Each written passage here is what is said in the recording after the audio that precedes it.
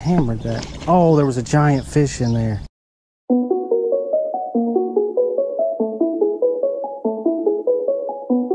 Bass, crappie, bluegill. Today I'm going to be fishing with this little Shakespeare Micro Series uh, rod. It's five foot six, light action rod. Does anyone know what this bird is? What is that? Yeah, it's a bass. Oh, I got another bass. Not bad at all. He was out there on that tree. Thought there'd be one on it. A little bitty micro jig.